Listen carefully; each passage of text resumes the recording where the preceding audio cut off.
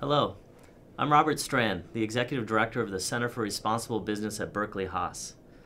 Each semester, the Center for Responsible Business partners with business and thought leaders to bring a series of events around a topic of corporate responsibility and sustainability to UC Berkeley. I'm sitting here today with Bennett Freeman of Calvert Investments, following today's Peterson Series event. Calvert is a global leader in responsible investments and offers mutual funds that invest in socially and environmentally responsible companies. Bennett, you lead Calvert's environmental, social, and governance analysis, shareholder advocacy, and public policy initiatives and its team of sustainability research analysts. Uh, we're absolutely thrilled to have you here to share your expertise as part of the Peterson series. Now, I want to ask a couple of questions. Uh, a key point you made during today's event is that human rights risks are real material risks. Can you summarize this perspective sure. again for us? I think it's a very critical starting point. Yeah, absolutely. Robert, well, first, thank you very much for inviting me to speak in the Peterson series today, and it's wonderful to be back at, at Haas and Berkeley, where I was an undergraduate. Um, for us at Calvert, and for me personally, human rights are first and foremost about moral values and universal standards. But for us at Calvert, at the same time, human rights also represent material risks that we have to take into account as we construct and manage our portfolios on behalf of our shareholders. Human rights can present risks to companies in a range of industries, whether extractive industries like oil and gas and mining that operate in countries with repressive governments or with conflict zones uh, on one end of the spectrum, or at the other end of the spectrum, uh, companies in the information communications technology sector, whether they're internet companies or mobile communications or others that have to deal with real world uh, problems around censorship and freedom of expression or surveillance and the right to privacy. So we're seeing both in older industries and newer ones a whole range of human rights issues that present operational and reputational risks for company managements and in turn present risks for uh, investors as we try to deliver uh, stable and positive returns to our investors. So the bad news is, is that these risks persist and have even grown for some companies and some industries.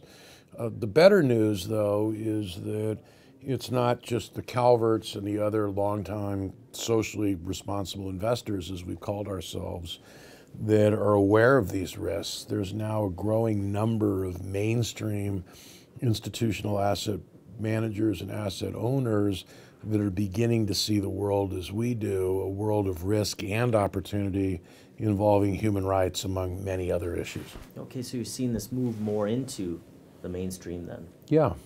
Now, Bennett, it goes without saying that people who uh, invest in responsible investments, they want to have an impact on the world. Now, can you paint a picture for us? How is this being measured? And what is Calvert's role in this? So, people who are attracted to our funds or, or others uh, in the marketplace uh, clearly share the primary goal of their funds delivering solid performance, uh, whether it's for retirement savings or other investment purposes. But investors also come to us uh, because of the particular view of the world that we have that uh, has a values basis, but even more importantly, in the 21st century, understands the whole range of corporate responsibility and sustainability risks and opportunities that companies in a whole range of industries face. So we measure uh, our success in addressing our shareholders' concerns and meeting their expectations really in two ways. Uh, first and foremost, by delivering uh, solid positive returns, which we do for the most part uh, across uh, our 40 or so different mutual funds, uh, ranging across virtually every style box, as we call them, in the in investment categories. Uh, but secondly, in terms of the impact that we make through our shareholder advocacy and our mm-hmm. public policy work. And we very much believe in the power of investment to improve uh, the world to strengthen corporate responsibility, to advance sustainability. And we apply a whole range of tools uh, shareholder resolutions, uh, dialogue with management of companies, uh, coalitions with other investors, sometimes with activist groups, NGOs, and public policy initiatives at the state and federal level in, in the U.S., internationally through the UN or the World Bank or other institutions to try to lift standards for whole industries. So we are active owners uh, who believe in engaging with companies and, and whole industries to improve performance, to lift standards, and we are, are, judged by the influence that we exert and ultimately the impact that we have uh, across the whole range of environmental, social, and governance issues. You know, as I reflect upon the, the conversation that we had today during the Peterson series, uh, this notion of taking into account human rights mm-hmm. and putting it into uh, a framework for investment decision making. Uh, sometimes when I sit back, I wonder are, are, we at the Center for Responsible Business, are we in a bit of a bubble having these kind of conversations? How mainstream are these conversations? Can you talk a little bit yeah. about that, what you see now, yeah. and maybe looking ahead a bit? Yeah.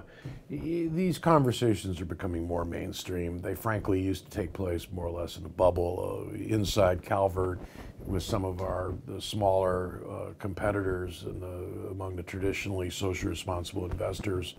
Uh, but we were very much having these conversations amongst ourselves in a fairly small echo chamber.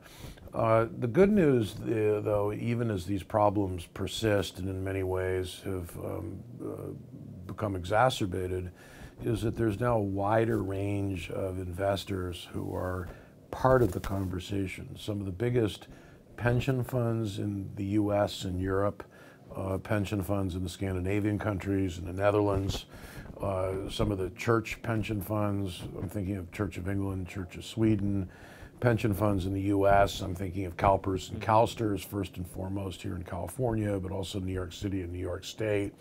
Uh, but some of the big institutional asset managers as well are now beginning to have these conversations, and indeed even some of the biggest banks.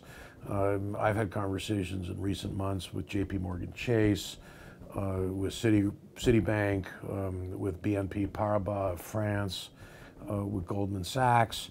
Uh, and there are uh, analysts and portfolio managers uh, at those institutions that are becoming aware of human rights related risk. I, I, wouldn't say that um, they all have comprehensive due diligence processes to assess human rights risk. Uh, some of them are further down the road than others. But the good news is there is a growing awareness of uh, the materiality of human rights. And I'd say, above all, in the uh, apparel and retail industries um, going back a number of years, in extractives, oil and mining, uh, and there's growing awareness around uh, information communications technology. So it's a much broader conversation now. We're still in relatively early days, but I'm heartened um, that the conversation is beyond the Calverts of the world uh, and that so-called mainstream investors are beginning to become more aware of these issues and risks. Much of what we're talking about here, I would argue, fits very nicely within one of the defining principles for Berkeley Haas. And that defining principle that I'm thinking of is beyond yourself.